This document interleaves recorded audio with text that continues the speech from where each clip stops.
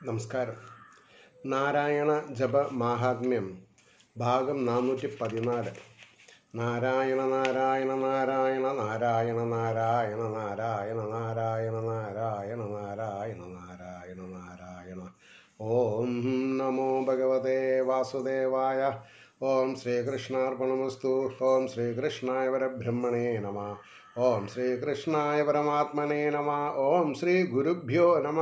ഓം ശ്രീ രംഗനാഥ ശർമ്മണേ നമ. ഹരേ രാമ ഹരേ രാമ രാമ രാമ ഹരേ ഹരേ. ഹരേ കൃഷ്ണ ഹരേ കൃഷ്ണ കൃഷ്ണ കൃഷ്ണ ഹരേ ഹരേ. ശ്രീമദ് ഭാഗവതം ദശമസ്കന്ധത്തിൽ പതിനഞ്ചാം അധ്യായം ധേനുപാലനവും ധേനുകവധവും. അതിലെ നാലാമത്തെ ശ്ലോകം പറയുണ്ടായി. എന്താണ്? സുമങ്ങളും ചന്തളിരും പഴങ്ങളും നിറഞ്ഞു തൂങ്ങി ക്ഷിതിയെത്തൊടും വിധവും. കൊമ്പാർന്ന ചട കണ്ടു വിസ്മയം നടിച്ചു തൻ ജ്യേഷ്ഠനോടോതി മാപതി.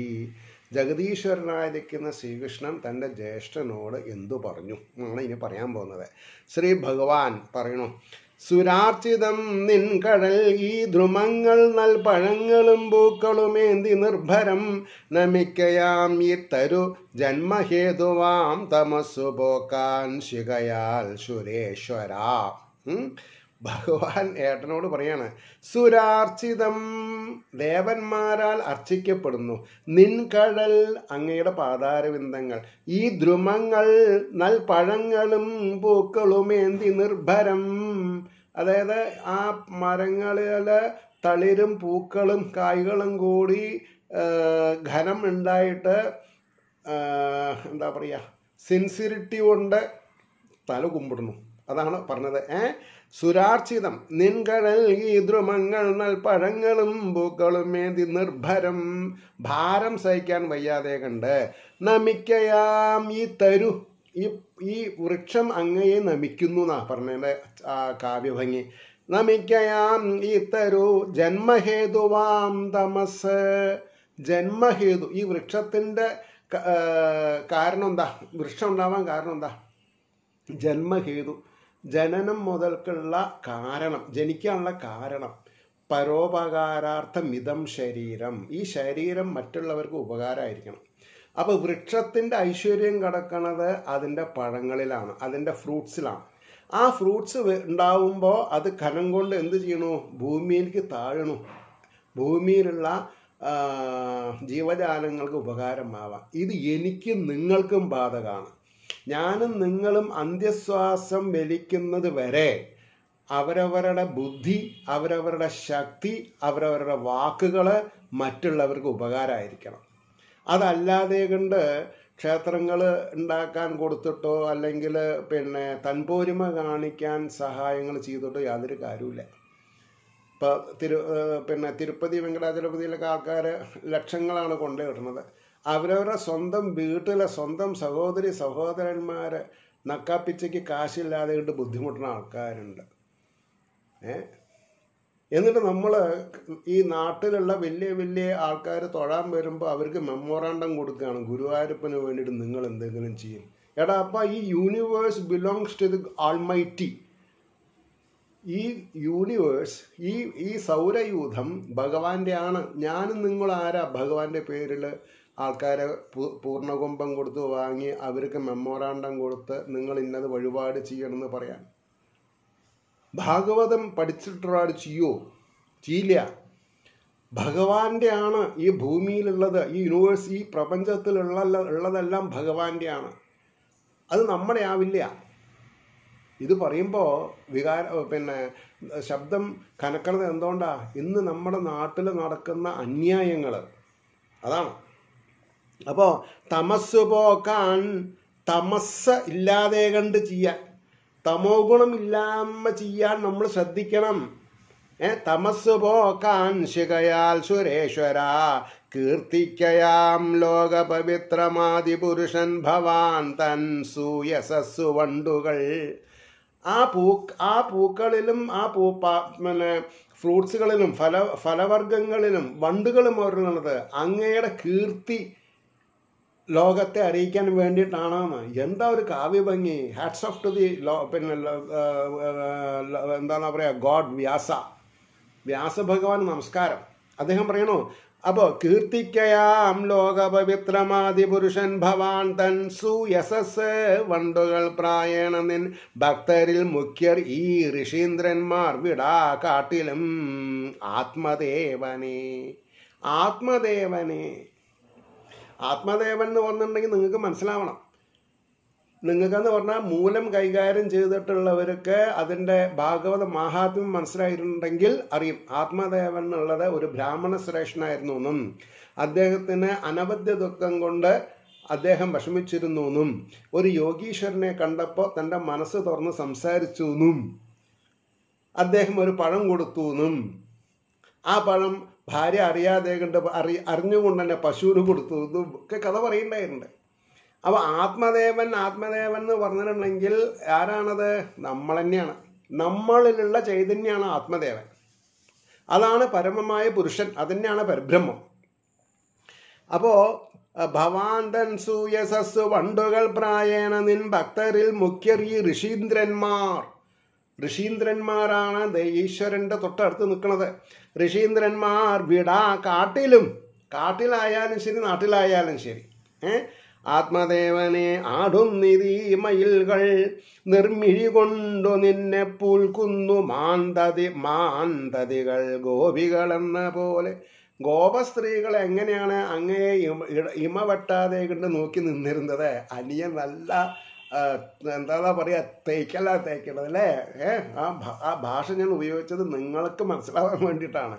ഏ വ്രജത്തിൽ എങ്ങനെയാണ് ഗോപസ്ത്രീകൾ ബലര ബലഭദ്രസ്വാമീനെ നോക്കി കണ്ട് ആസ്വദിച്ചിരുന്നത്? അതേപോലെ ഇവിടെ കാനനത്തിൽ മയിലുകൾ നൃത്തം ആടിയിട്ട് അവരുടെ സന്തോഷത്തിനെ അറിയിക്കുന്നു. മാനുകൾ ഏ നിശ്ചലമായിട്ട് നിൽക്കുകയാണ് ബലഭദ്രസ്വാമിനെ കണ്ടിട്ട്. ആടുന്നിതീ മയിലുകൾ നിൻമിഴികൊണ്ടു നിന്നെ പുൽകൾ നീൽമിഴി കൊണ്ട് ആ ആ പിന്നെ മയിലുകളുടെ നീണ്ട കണ്ണുകളെ കൊണ്ട് നിന്നെ പുൽകുന്നു. കണ്ണുകളെ കൊണ്ട് പോവുക എന്ന് അവ- അവ- അവിടെയാണ് ഈ കവിഭാവം കവിഭാവന എന്ന് പറഞ്ഞ എന്താ? അതാണ്. ഉള്ളത് ഉറക്കം വിളിച്ച് പറയുന്നവരാണ് കവികൾ കവികൾ ഏ? അപ്പോൾ മയിലുകളെ അവരുടെ കണ്ണുകളെ കൊണ്ട് നമ്മളെ പുൽകുണു എന്നർത്ഥം. പുൽകുന്നു മാന്തതികൾ ഗോപികൾ എന്ന പോലെ ആദിത്യം ഈ കുയിലുകളേകുകയാൽ ഇതല്ലോ.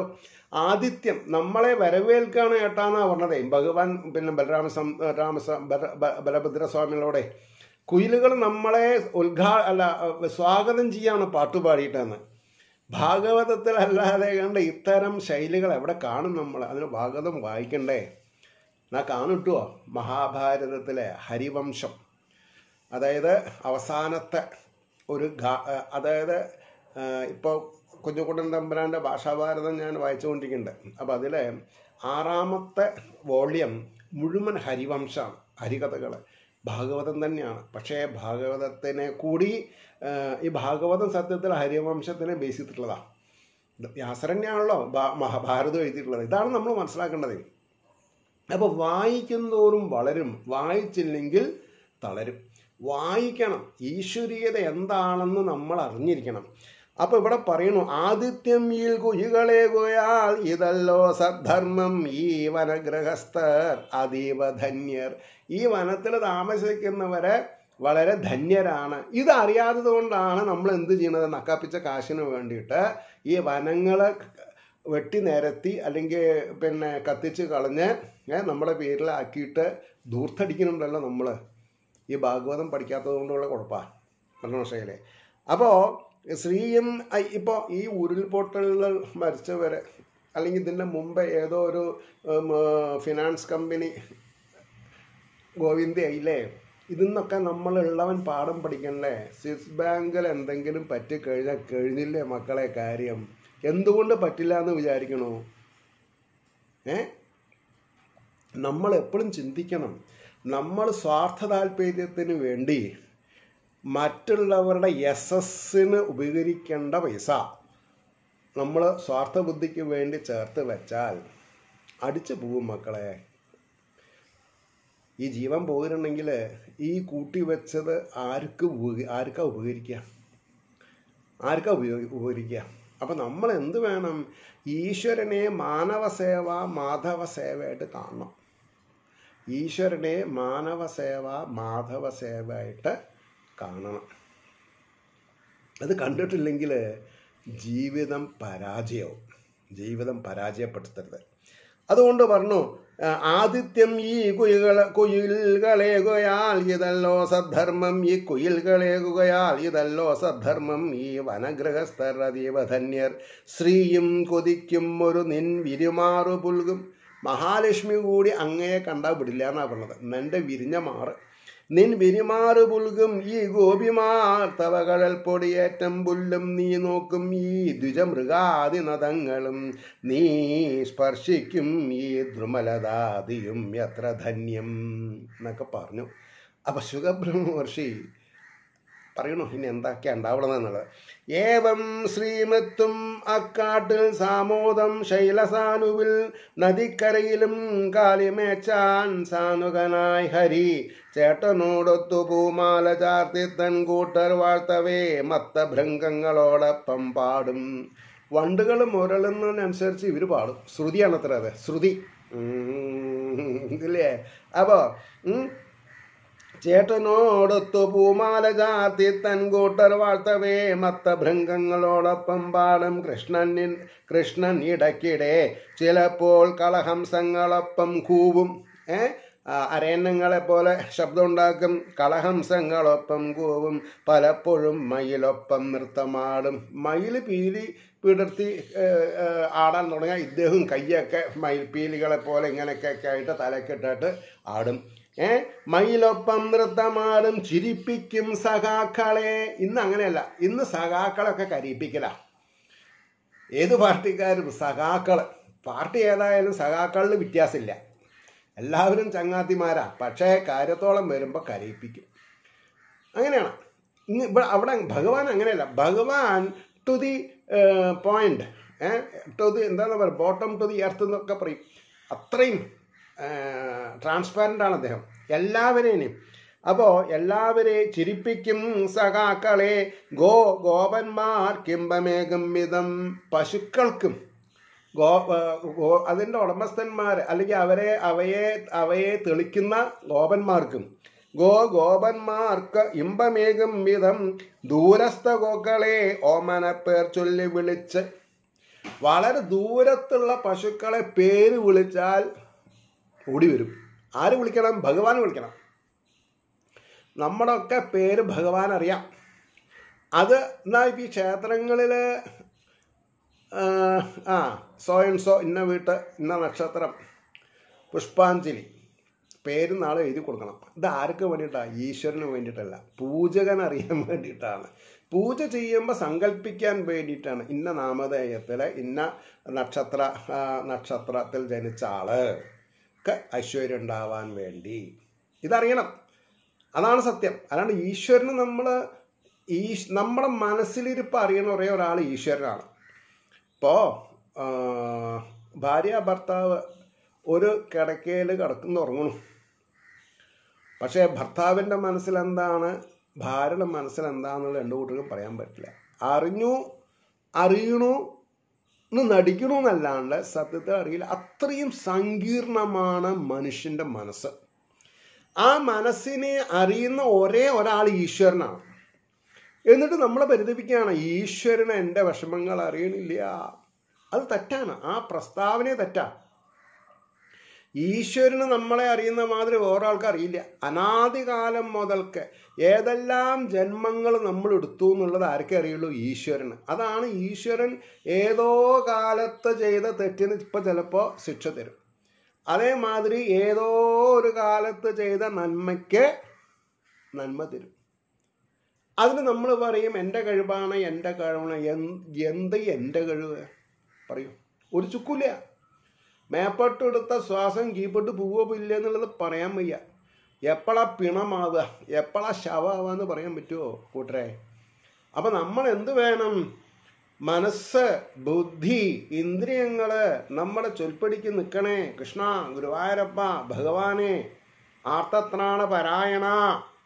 അപ്പം നമ്മൾ ആ നമ്മളിൽ ആരെങ്കിലും നമ്മുടെ നന്മ സ്വീകരിക്കുന്ന തരത്തിൽ പെരുമാറിയിട്ടുണ്ടെങ്കിൽ അവരെ നമ്മൾ ദുഃഖിപ്പിക്കരുത്. ആ ദുഃഖിപ്പിക്കണേന് എന്തുണ്ട്? ഒരു ശിക്ഷയുണ്ട്. അത് ആരാ വിധിക്കാൻ?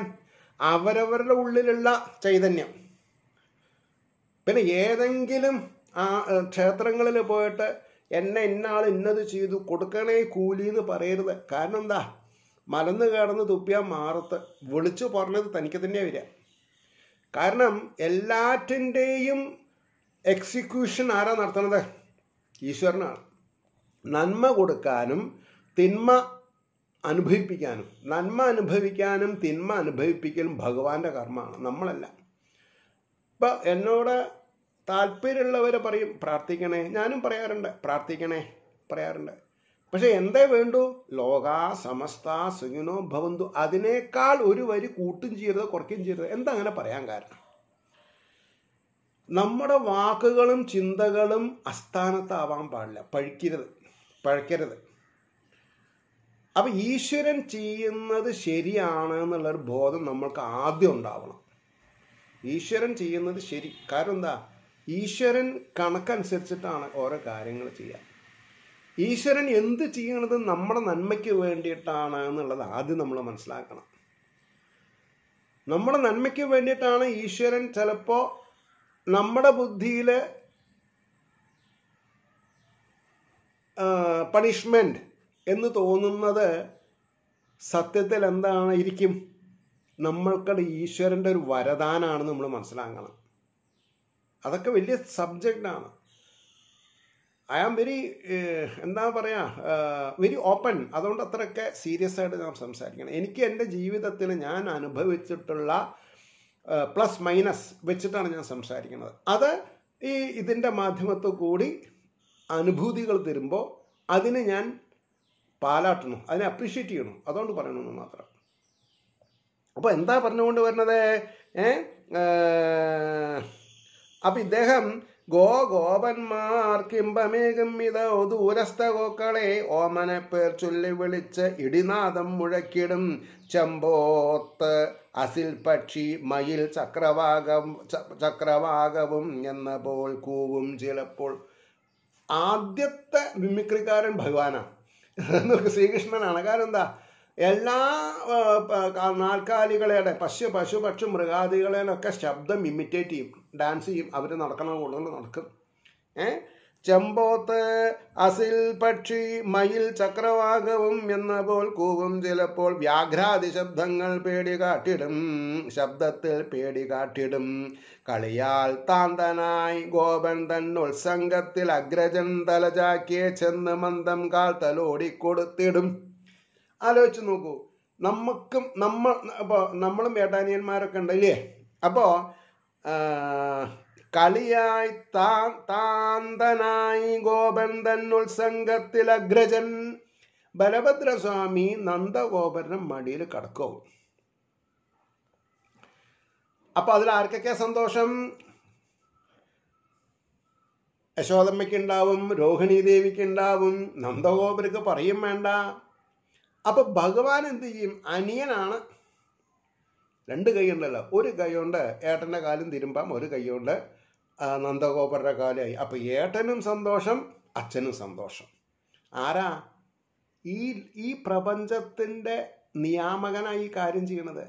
ഇത് കണ്ടിട്ടെങ്കിലും ഇത് കേൾക്കുന്നവര് സ്ത്രീയാവട്ടെ പുരുഷനാവട്ടെ സ്വന്തം അച്ഛന് അല്ലെങ്കിൽ ജ്യേഷ്ഠന് കാൽ തിരുമ്മി കൊടുക്കാൻ സാധിച്ചിട്ടുണ്ടെങ്കിൽ അവർ ഭാഗ്യവാന്മാരാണ്.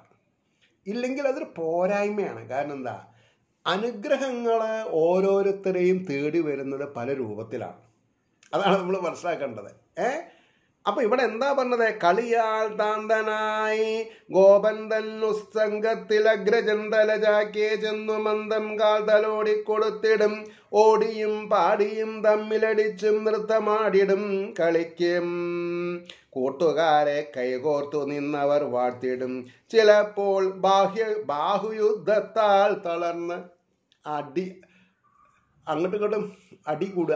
എന്നിട്ട് തളർന്ന് തളിർമെത്തമേൽ മരച്ചോട്ടിൽ പോയി കിടക്കും. അനന്തശായയുടെ മോൾ കിടക്കുന്ന ആളാണെന്നൊക്കെ നമ്മൾ മനസ്സിലാക്കണം. ഏ?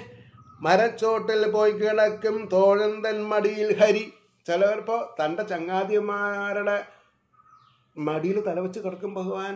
അപ്പം അവർക്കുണ്ടാവുന്ന ഒരു അനുഭൂതി ഏതെല്ലാം ദുഷ്ടരാക്ഷസന്മാരെ രാക്ഷസന്മാരെ കൊന്ന് നമ്മളെ രക്ഷിച്ചിട്ടുള്ള ഭഗവാൻ നമ്മുടെ മടിയിൽ തലവെച്ച് കിടക്കുന്നുണ്ടല്ലോ മഹാലക്ഷ്മിക്കും ഭൂദേവിക്കും കിട്ടാത്ത ഒരു സന്ദർഭമാണ് ഇവിടെ നമ്മൾക്ക് അദ്ദേഹത്തിന്റെ ചങ്ങാതിമാരായിട്ട് കിട്ടുന്നത്.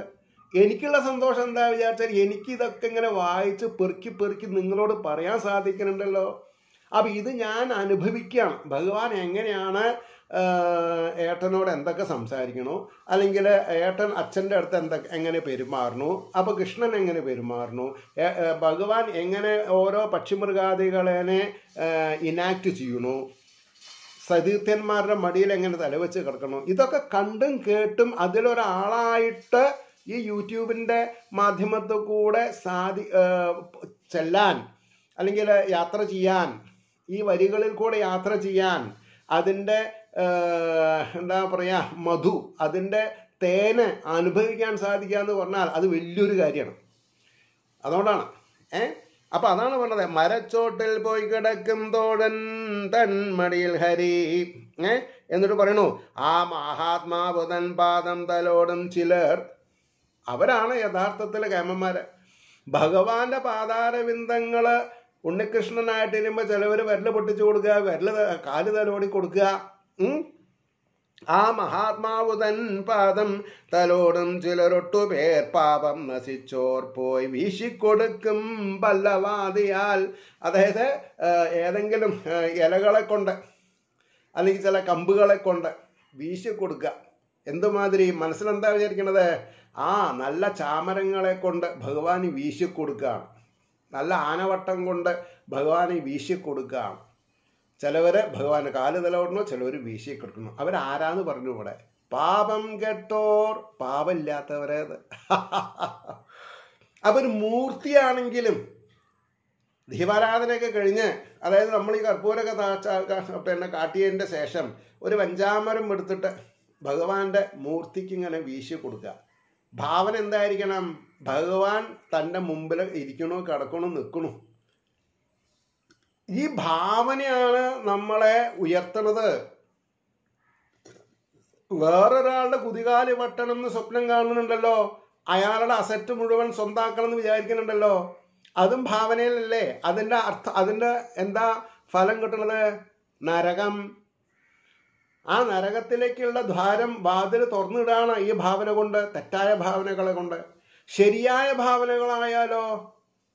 അത് ഭഗവാൻ സായുജ്യ സാമീപ്യ സാലോക്യ സാരൂപ്യാദികൾ നിന്ന് ധർമാർത്ഥ കാമ മോക്ഷത്തിന്റെ മാധ്യമത്തുകൂടി നമ്മളെ പുനരഭിജനനം പുനരഭിമരണത്തിൽ നിന്ന് രക്ഷപ്പെടുത്താനുള്ളതാന്നുള്ളത് മനസ്സിലാക്കണം. എല്ലാം ഭാവനയാണ് അവിടെ നിർത്താം. അങ്ങനെയിരിക്കുന്ന വാസുദേവന്റെ അനുഗ്രഹാശിസ്സുകൾ ഏവർക്കും സദാസമയം ഉണ്ടാവട്ടെ എന്ന് പ്രാർത്ഥിച്ചുകൊണ്ട് വാക്കുകൾ ചുരുക്കുന്നു. നമസ്കാരം.